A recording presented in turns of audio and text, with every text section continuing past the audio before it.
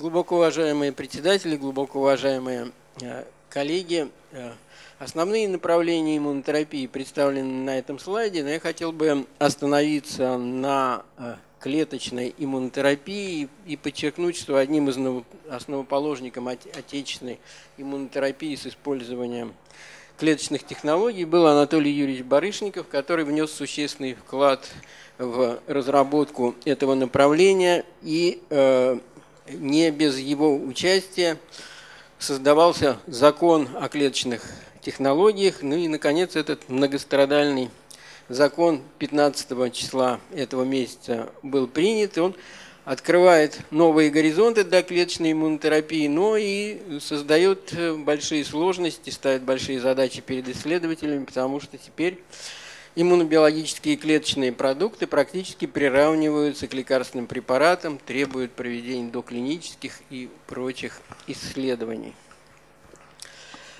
Ну, клеточная иммунотерапия условно может быть разделена на активацию врожденного иммунитета вне организма и введение этих активированных клеток пациенту. Для этих целей могут быть использованы различные источники. Это лимфоциты, которые э, могут быть активированы интерлейкином 2 или коктейлем цитокином, так называемые цитокин-индуцированные лимфоциты, генетически модифицированные клетки и опухоль инфильтрирующие э, лимфоциты. Ну, вся э, адаптивная иммунотерапия началась практически с открытия и получения интерлейкина-2. И э, на нашем отечественном рынке его успешно заменил отечественный препарат ронколейкин. Активированные лимфоциты имеют э, характерную, характерную структуру и отличаются от зрелых лимфоцитов, которые здесь видны в опухолевом материале, единичные зрелые клетки большим, э, э, большим, большим размером, наличием цитоплазмы и способностью к пролиферации, с видны митозы, деления и при введении в организм эти лимфоциты активно окружают таким мощным валом опухолевые клетки, э, создавая эффективное соотношение опухоль-лимфоцит и приводит к их, к их деградации. В составе активированных э, лимфоцитов э, значительная роль принадлежит натуральным киллерам, которые, собственно, и э, реализуют эффективность врожденного иммунитета. И это не просто натуральные киллеры, но активированные формы, которые экспрессируют на своей поверхности активационные молекулы. Да, очень много говорилось о супрессорных субпопуляциях, и было много кандидатов на эту роль, но, тем не менее, до настоящего времени все-таки истинные супрессорные не выявлены, но, по крайней мере, модная некогда субпопуляция CD4-25 FOXP3 положительных клеток при активации интерлейкином 2 при получении ЛАК существенно не увеличивается в популяции активированных лимфоцитов, и ее э, выделение и добавление к лимфоцитам не снижает их цитотоксических свойств.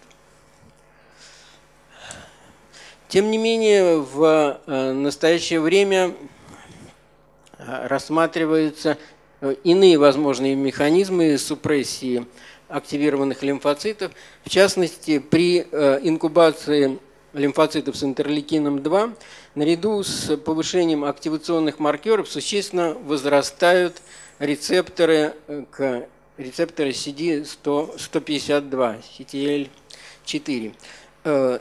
Причем они возрастают не только на Т-лимфоцитах, но и натуральных, на натуральных киллерах. Сегодня точно неизвестна роль этих рецепторов в механизме активации или супрессии э, натуральных киллеров, однако Э, вполне возможно, что именно эти механизмы являются истинными ингибиторными при, в э, активации лимфоцитов.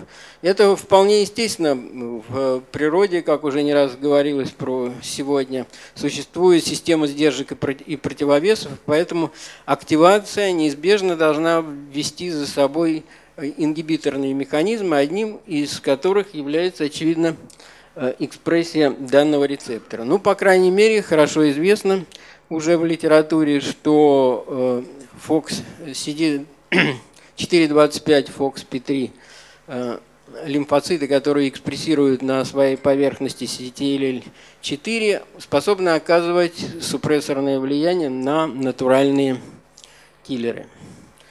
Ну, здесь вот показана эффективность внутриполосной терапии при опухолевых привритах и э, опухоли инфильтрирующие лимфоциты в опухоли методом иммунофлюоресценции на крио срезах, который свидетельствует о том, что в популяции тилов могут присутствовать как натуральные киллеры, так и Т-регуляторные, и Т-регуляторные клетки. Э, следует отметить, что областью применения иммунотерапии с использованием активированных эффекторов врожденного иммунитета э, может быть э, лечение так называемой резидуальной опухолевой болезни – как показано на этом слайде, после проведения радикальных или условно-радикальных операций в э, организме, в кровотоке и в лимфотоке циркулируют, продолжают циркулировать опухолевые клетки. В частности, здесь приведен случай пациента с пациента раком, светлоклеточным раком почки. И э, как следует из данного слайда, в центральной лимфе обнаружены только единичные, но и целые конгломераты опухолевых клеток. Вот здесь они выделены методом иммуномагнитной сепарации. При этом э, лимфоциты в центральной лимфе контактируют с миллиардами э, опухолевые клетки в центральной лимфе контактируют с миллиардами лимфоцитов и остаются э, совершенно и, и способны при этом избегать иммунобиологического надзора.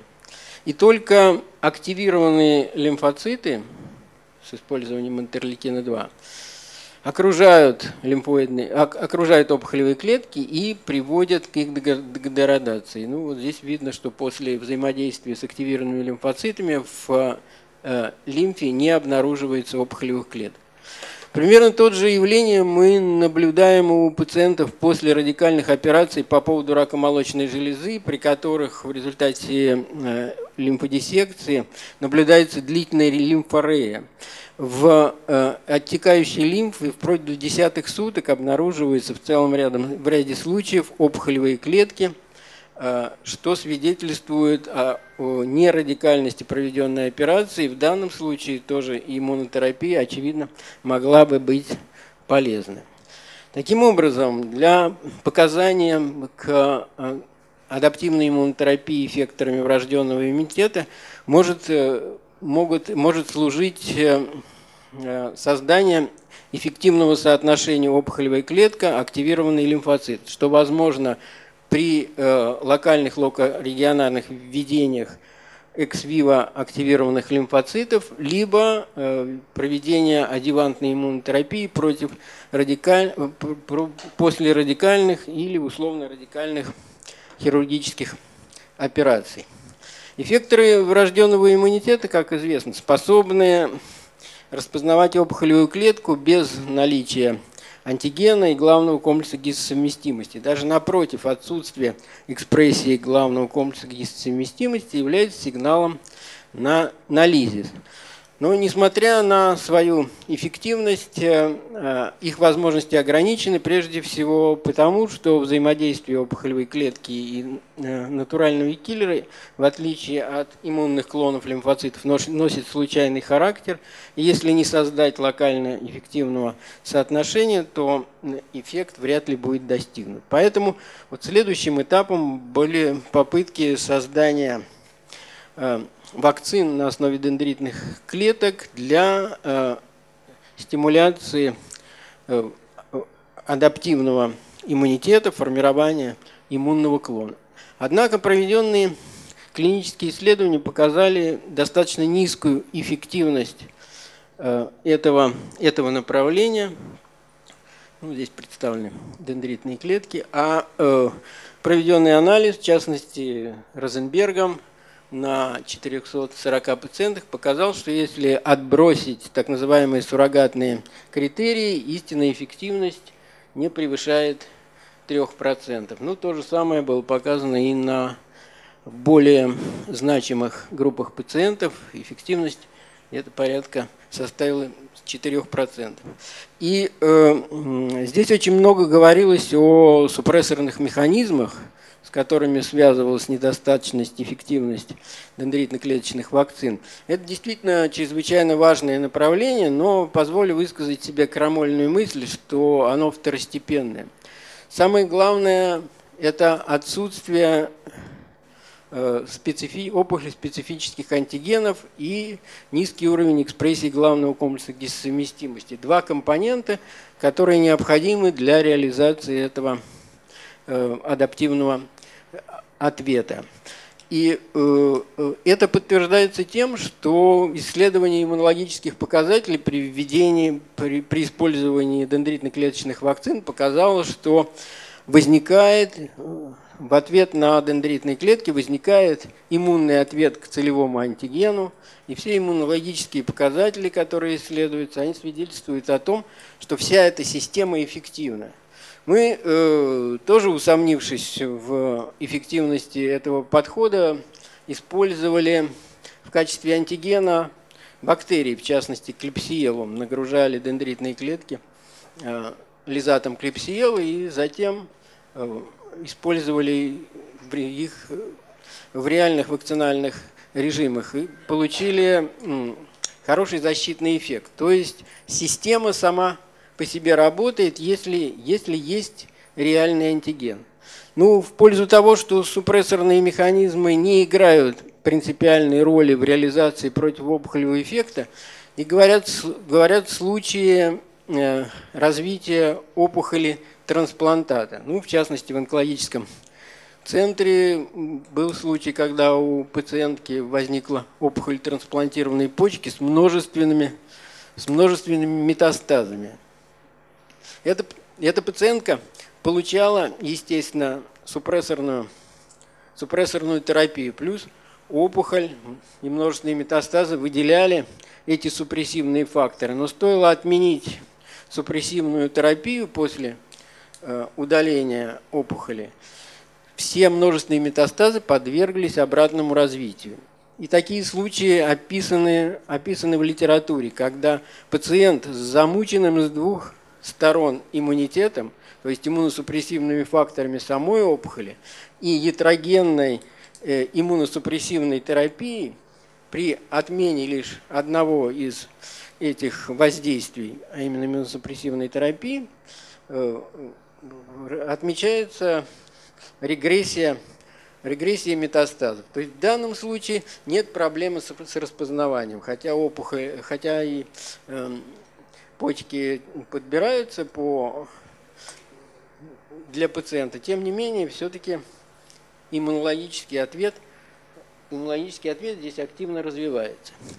Ну и э, на данной схеме вот представлена классическая картина э, активации и торможения иммунного, иммунного ответа. И в настоящее время, как известно, существуют новые препараты, ингибиторы чекпоинтов, которые способны э, воздействовать на э, ингибиторные, на ингибиторные рецепторы. И э, с нашей точки зрения представляется целесообразным комбинация активации и блокады ингибиторных рецепторов. В частности, нами это показано инвитро, а в литературе уже существуют данные, что комбинация этих двух воздействий может приводить к усилению э, эффективности клеточной терапии. И таким образом, э, в качестве перспективы адаптивной иммунотерапии злокачественных новообразований следует э, считать активацию инвитро лимфоцитов посредством активирующих рецепторов и блокаду с использованием ингибиторов иммунных чекпоинтов для генерации суперактивных клонов иммунных рецепторов. Спасибо за внимание.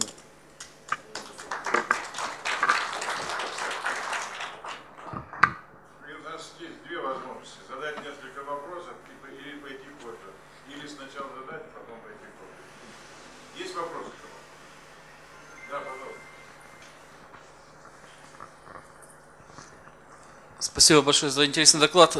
Очень коротко, вы не могли бы, вот для меня, например, резюмировать. Вы, э, с одной стороны, показываете относительно низкую эффективность дендритно-клеточных вакцин, но с другой стороны, считаете, что они, тем не менее, вся система в целом работает, она специфична, и необходима просто ее оптимизация путем э, введения дополнительных молекулярных э, легандов, обход чекпоинтов и так далее. Это основная идея вашего доклада. Да, действительно, дендритно-клеточные вакцины нуждаются в оптимизации. Оптимизация это может заключаться в активации не только а, адаптивного иммунитета, но и врожденного звена, поскольку эти два механизма как бы противоположны, противоположны друг другу, поскольку натуральные киллеры воздействуют на те клетки, которые не экспрессируют никаких рецепторов и главного комплекса гиссовместимости э, по принципу свое свое, не свое, а э, эффекторы э, адаптивного иммунитета, то есть иммунные клоны, требуют наличия и антигена, и главного комплекса гистосовместимости, свое-чужое. То есть э, вот это взаимо, взаимодействие может позволить воздействовать на различные субпопуляции опухоли, которые, как известно, гетерогенны. Спасибо.